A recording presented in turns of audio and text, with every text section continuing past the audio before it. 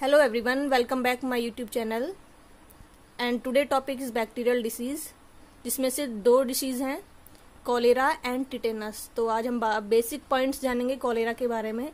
तो बात करते हैं कॉलेरा के पैथोजन के बारे में. इसके पैथोजन का नाम क्या है? विब्रियो कॉलेरा यानी कि जो विब्रियो कॉलेरा है, इसकी वजह से कॉलेरा डिसीज होती है. और ये जो बैक्टीरिया होता है, ये ग्राम नेगेटिव होता है और फैकल्टेटिव एन एरोबिक होता है. एनोरोबिक मतलब जो विदाउट ऑक्सीजन के रेस्पिरेशन करें।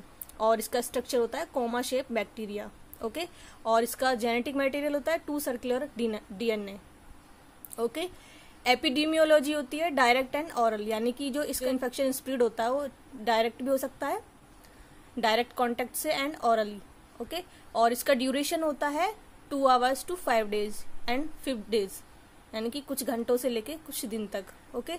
और इसका सिम्टम्स क्या है? Diarrhoea vomiting muscles cramps acute dehydration मतलब इसकी वजह से, इस डिसीज की वजह से डिहाइड्रेशन की प्रॉब्लम हो जाती है। मतलब बॉडी में वाटर की कमी हो जाती है। थेरेपी क्या है? मतलब कि ट्रीटमेंट क्या है इसका? Oral rehydration therapy zinc supplement tetracycline and erythromycin ये दो एंटीबायोटिक्स दे सकते हैं जिंक सप्लीमेंट दे सकते हैं ऑरल रिहाइड्रेशन दिया जा सकता है। ओके एंड डिस्कवरी किसने की थी? सबसे पहले विब्रियो कॉलेरा को आइसोलेट किया था। फिलिप्पो पैकिनी ने इन 1854 में। And Robert Koch in 1884 discover the case of cholera and firstly describe by Felix Archimedes Pouchet in 1849 vibrio cholera. मतलब इसको सबसे पहले किसने डिस्क्राइब किया था, विब्रियो कॉलेरा को? Felix Archimedes Pouchet, okay? और डिस्कवर किसने किया था जो इसका जो कारण है, इसको किसने डिस्कवर किया था? रॉबर्ट कोच ने इन 1884 में, ओके? okay? और बैक्टीरियल डिसीज की हम सेकंड डिसीज लेते हैं। टिटेनस टिटेनस का पैथोजन क्या है? Clostridium tetani.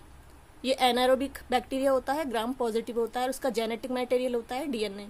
ओके? एपिडीमियोलॉजी होता है इन्फेक्शस डिसीज ये इन्फेक्शस डिसीज है।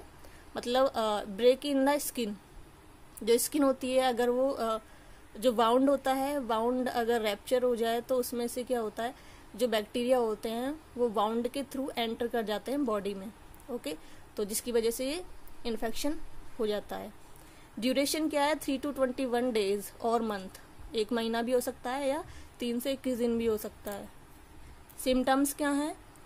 Painful muscles headache jaw and neck contraction अगर जॉ एंड नेक में कॉन्ट्रेक्शन होने लगे तो उसको बोलते हैं lockjaw high BP fever sweating trouble swelling okay तो ये हो गए इसके सिम्टम्स अब आते हैं पोरफाइलेक्सिस यानी कि रोकथाम. इसके रोकथाम के लिए डीपीटी वैक्सीन बनाई गई है, जिससे इसको रोका जा सकता है।